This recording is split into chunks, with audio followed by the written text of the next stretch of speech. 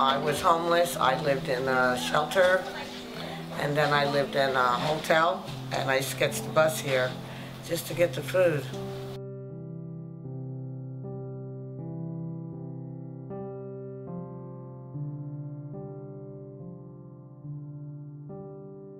It's good. It's a good place.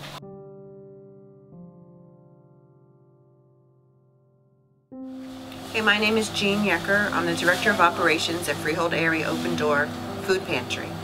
The organization benefits our, our local community by helping our families avoid food insecurity. Having helped so many people in this community, it's, it's a truly wonderful feeling to know that you're doing something for the community. You may not be able to help each and every one of the people that need help, but it's very rewarding.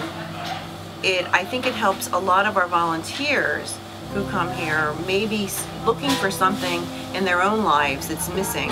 They come here and they see that they're working with people that have so much less and it's very fulfilling and it, it's, it takes you out of yourself. It helps you concentrate on someone else's needs and I think it makes people better um, for doing that. I love volunteering because it's my extended family and I it gives me great joy to help people that need. My husband got very sick one time and I said if they brought him back, I would volunteer and give back a little something. And here I am and this is why I'm here.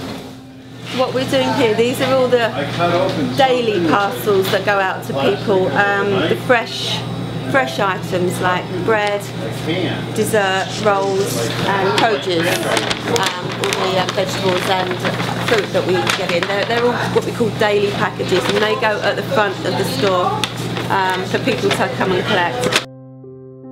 Again, this is all community support.